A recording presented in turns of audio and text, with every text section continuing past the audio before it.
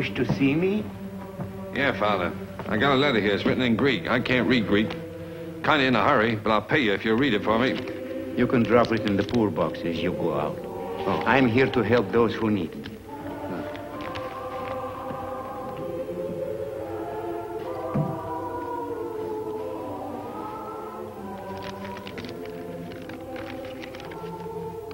From your mother, hmm?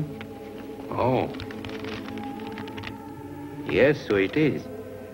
Your mother has a very good name, Maria, a holy name. Joseph, my beloved son, God grant this letter reaches you.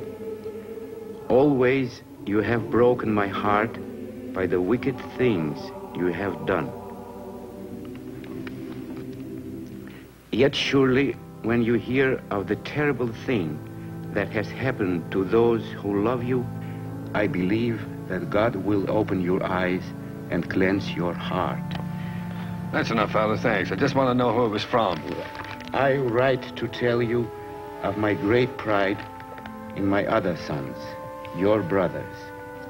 Now it must be your pride too, as well as your sorrow. it happened two Sundays ago as we were coming from church.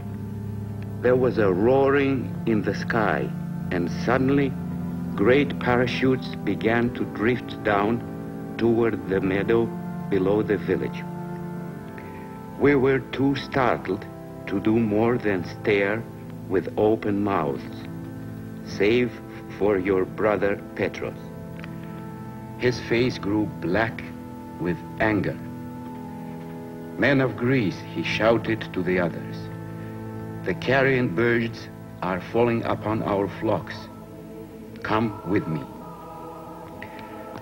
There were five guns in our village, but there were pitchforks and scythes and men of great strength. Your brother Petros and your brother Euladio led the other men into the meadow. There were patches of white lilies, and before the hour was done, it was as though the field were covered with red lilies.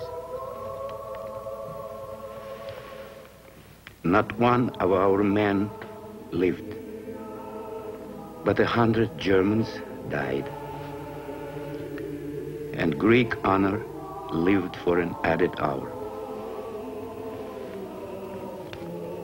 They possess our village, of course. I earned food by making their beds and washing their dishes at the inn. Yet I am sustained by my God and my great pride, thy mother Maria.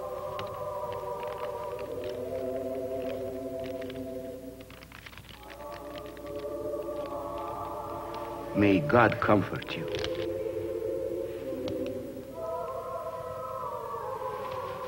Let's say a prayer together. Kneel down.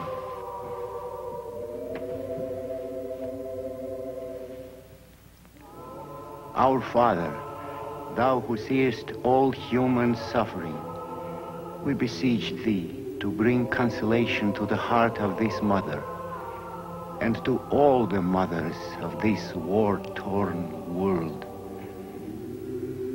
And to the hearts of their sons bring courage and the will to oppose evil as this woman hath brought it to her son Joseph who in thine eyes is the brother of all men